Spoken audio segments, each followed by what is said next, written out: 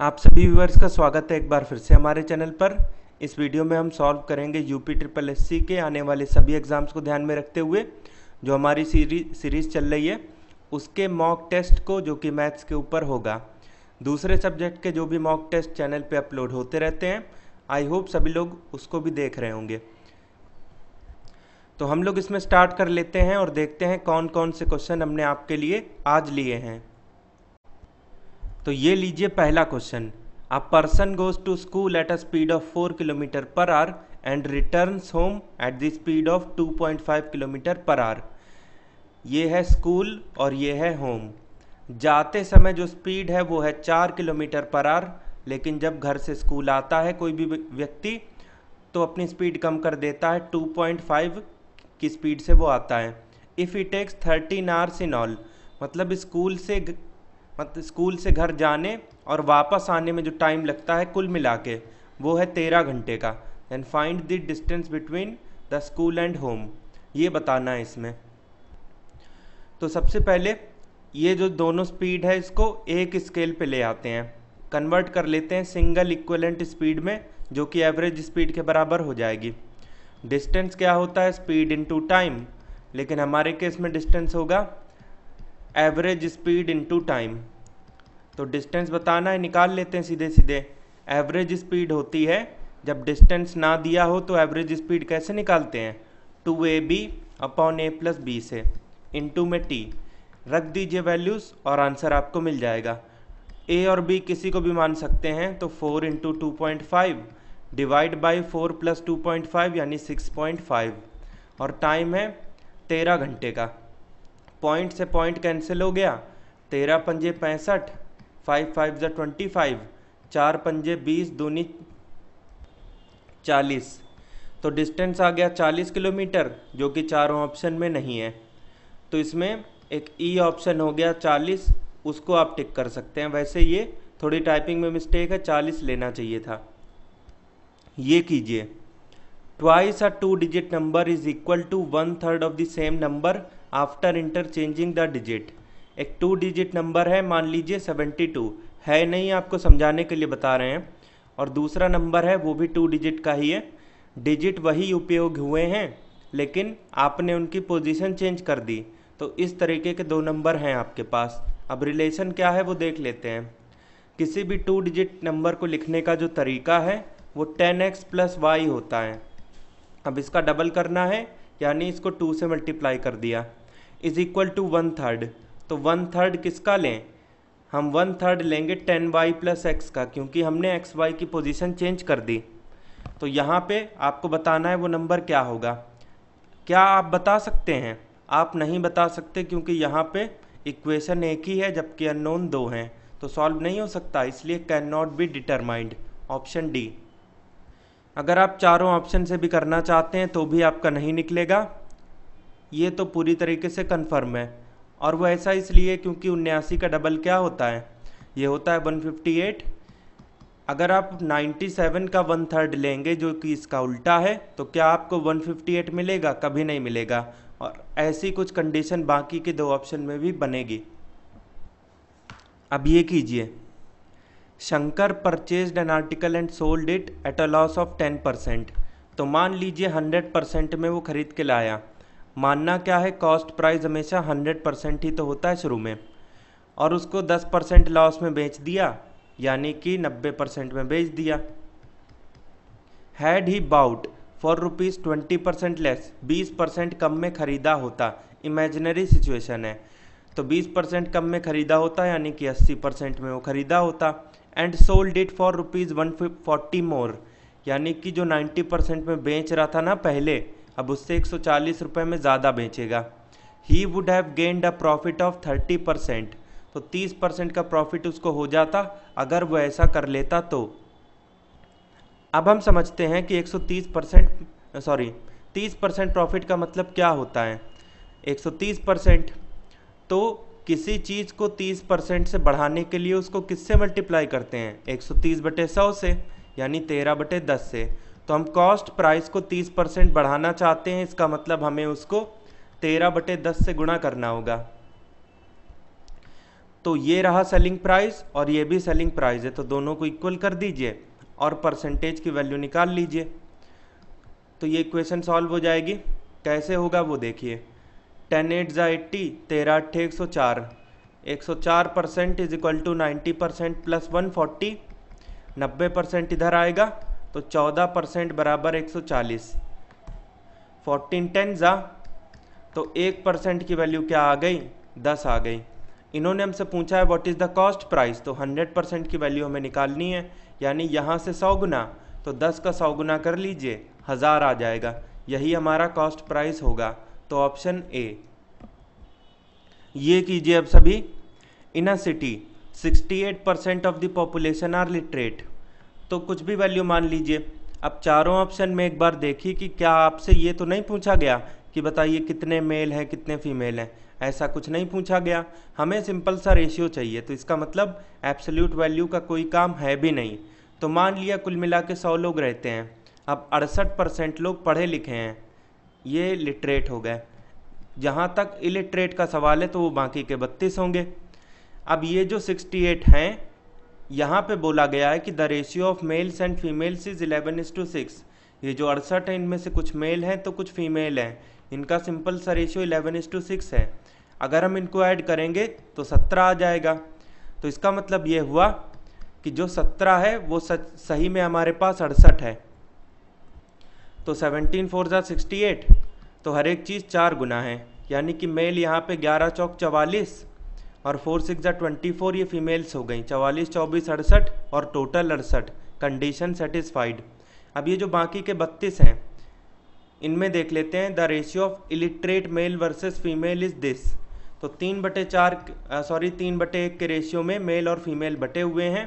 अगर टोटल बत्तीस है तो तो चार का मतलब बत्तीस, एक का मतलब आठ। तो यहाँ पे मेल हो जाएँगे तीन अट्ठे चौबीस और फीमेल हो जाएँगी आठ। चौबीस आठ बत्तीस और टोटल बत्तीस। कंडीशन सब कुछ सेटिस्फाइड हो गई। अब इसके बाद जो पूछा है, आप बता सकते हैं। Find the ratio of illiterate sorry literate females to illiterate females in the city आपको न्यूमरेटर में भी फीमेल्स लेनी है, लेकिन लिटरेट वाली। डिनोमिनेटर में भी फीमेल्स लेनी है, लेकिन इलिटरेट वाली। लिटरेट फीमेल्स कितनी हैं? चौबीस हैं। ये लिटरेट है। इलिटरेट फीमेल कितनी है? तो आठ हैं। एट वन ज़ा एट थ्री ज़ा। तो तीन इस टू एक का एक रेशियो आ गया। थ्री इस टू वन ऑप्शन सी अब ये कीजिए। A man invested fifteen percent of is salary in L I C वो जितने भी रुपए पाता था, उसमें से पंद्रह परसेंट एल आई सी में दे दिए। तो मान लीजिए वो एक्स रुपये पाता था। अब उसमें से उसने पंद्रह परसेंट निकाल लिए एल आई सी को देने के लिए। तो बचे कितने? एट्टी फाइव परसेंट तो इसको मल्टीप्लाई कर दीजिए पिचासी बटे सौ से। अब उसके हाथ में ये पूरी की पूरी सैलरी है। And gave the remaining to his mother अब ये वाली सैलरी इनके हाथ में ना आके, इनकी माता जी के हाथ में आ गई। The mother invested sorry spent ten percent of it in household expenses अब इन्होंने क्या किया कि दस परसेंट और कम कर दिया। कहाँ इन्वेस्ट कर दिया?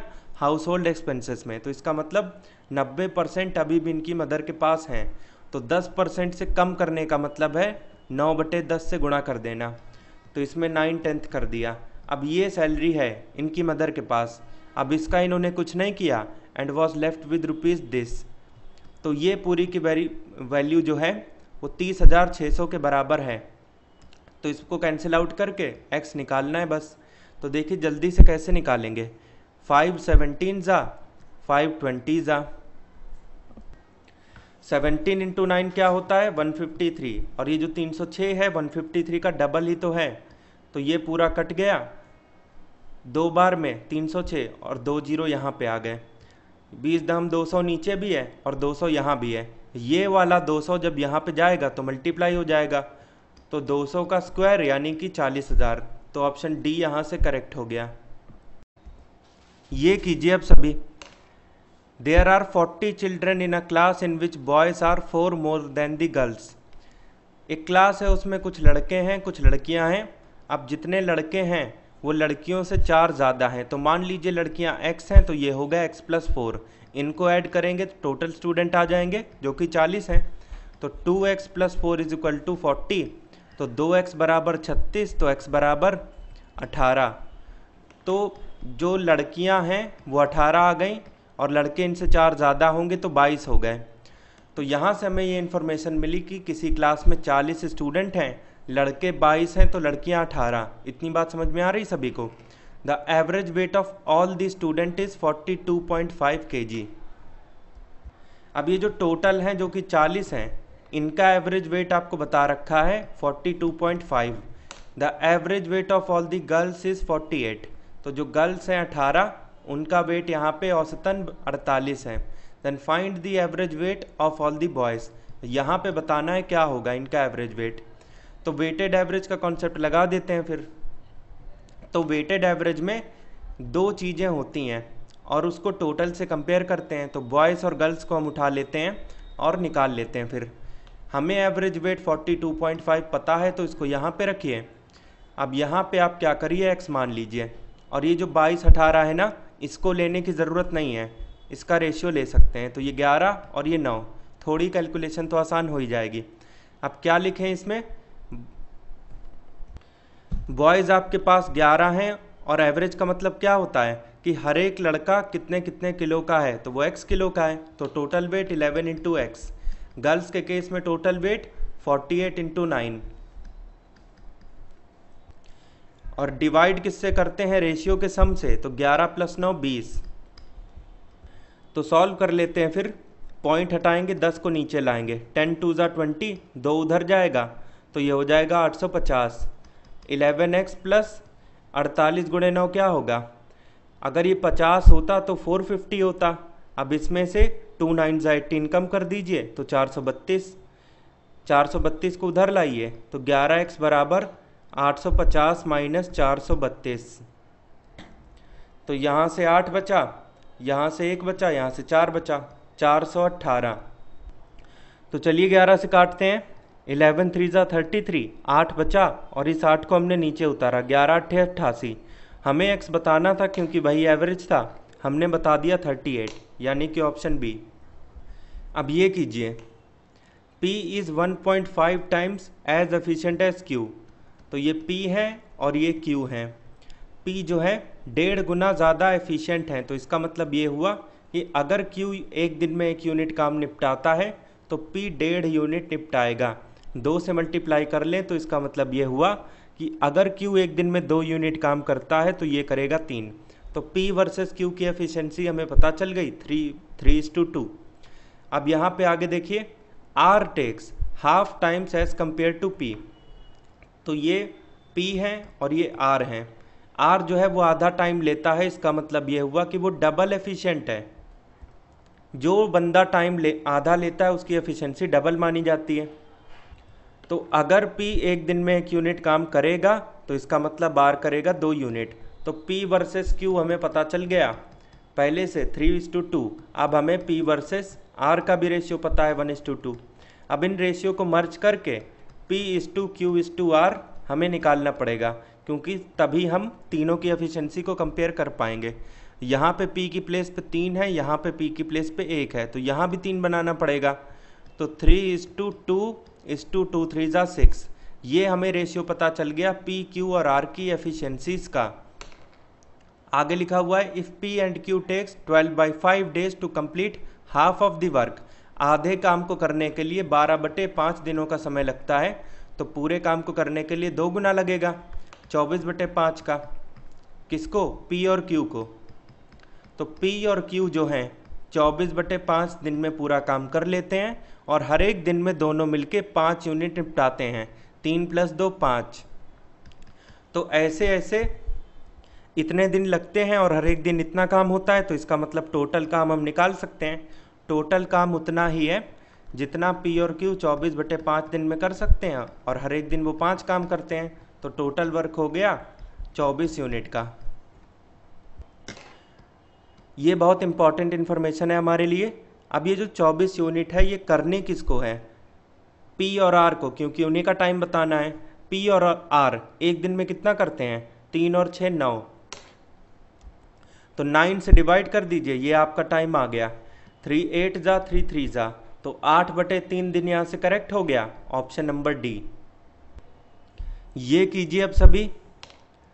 If seven marks are awarded for each correct answer and four marks were deducted for each wrong answer in an examination एक परीक्षा का नियम ये है, आप अच्छी तरीके से जानते होंगे क्योंकि आप पेपर देते रहते हैं। सात नंबर मिलते हैं करेक्ट आंसर के लिए तो ये प्लस सेवन चार मार्क्स चले जाते हैं गलत उत्तर के लिए तो ये माइनस फोर एलिगेशन लगाने के लिए सेम टाइप की एक चीज़ और चाहिए। A person appeared the in the same मतलब उस एग्ज़ाम में वो अपियर हुआ एंड स्कोर्ड 263 मार्क्स वो इतने नंबर लेकर के आया। If you attempted 58 question in all उसने सारे के सारे अट्ठावन क्वेश्चन कर लिए। तो दो नंबर लेकर के आया। अट्ठावन क्वेश्चन उसने किए। तो हर एक क्वेश्चन के लिए वो ऑन एन एवरेज कितने नंबर लेके आया? 263 सिक्सटी थ्री बाई फिफ्टी तो ये हो गया। इसके डिफरेंस को यहाँ और इसके डिफरेंस को यहाँ लिखना है। तो यहाँ पे जो हम डिफरेंस लिखेंगे वो होगा seven minus two sixty three by fifty eight ये ऊपर जाएगा फिफ्टी एट सात से मल्टीप्लाई होगा, अट्ठावन गुड़े सात। अगर ये साठ होता तो चार सौ बीस आंसर आता। दो सत्ते चौदह कम करिए तो चार सौ छः हो जाएगा। डिवाइड बाई फिफ्टी एट तो चार सौ छः में से 263 निकालिए तो तीन और चौदह। 143 forty three by fifty eight हुआ। अब यहाँ पे जो डिफरेंस लिखा जाएगा, वो होगा 263 sixty three by fifty eight minus four अब ये ऊपर जाएगा 58 चार से मल्टीप्लाई होगा तो 263 माइनस ये हो जाएगा 232 डिवाइड बाई अट्ठावन तो 263 माइनस टू अब जिसने ये किया उसका गलत हो जाएगा क्योंकि ये प्लस है और ये माइनस है। तो जब डिफरेंस लेंगे तो माइनस माइनस प्लस हो जाएगा। तो ये होगा 263 sixty three by fifty eight plus four two sixty three plus two thirty two by fifty eight यानी four ninety five by fifty eight तो four ninety five by fifty eight होगा। Fifty eight से fifty eight cancel ग्यारह से ये cut सकता है तो ग्यारह गुणे तेरह, ग्यारह चौक चवालीस, और ये पाँच बार में, ग्यारह पंजे पचपन तो 45 बटे तेरह का रेशियो आ गया। और ये रेशियो क्या इन्फॉर्मेशन देता है? कि अगर कुल मिला के फिफ्टी क्वेश्चन किए गए तो 45 सही थे, तेरह गलत। और सच में इन्होंने अट्ठावन क्वेश्चन किए। तो ये जो रेशियो है एब्सोल्यूट वैल्यू भी यही है। कभी कभी ऐसा हो जाता है तो करेक्ट क्वेश्चन कितने किए? 45 किए। तो कौन सा ऑप्शन सही है? तो ए वाला।